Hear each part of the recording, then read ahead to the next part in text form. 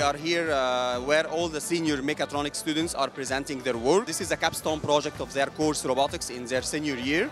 They are here presenting the collective effort of teams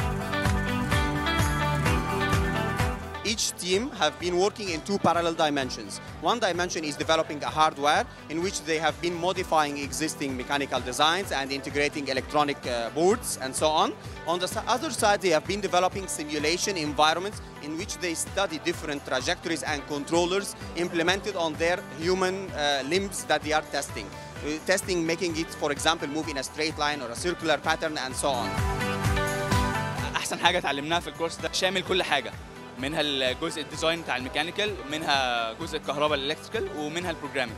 فهو كان أحسن حاجة إن أنت عمال بتتعامل براكتيكالي مع كل حاجة من دول.